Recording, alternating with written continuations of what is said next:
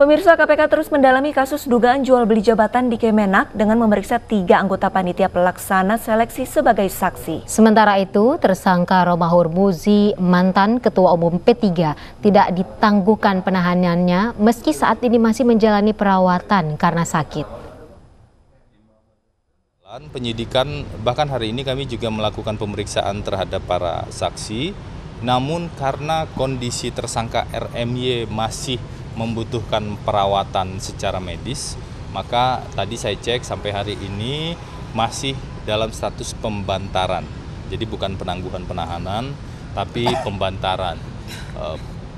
KPK eh, tetap eh, melakukan penjagaan, jadi ada pengawalan tahanan di sana dan kami juga melakukan penjagaan eh, dalam proses pembantaran tersebut. Dan karena dalam proses pembantaran tentu saja masa tahanannya menjadi tidak dihitung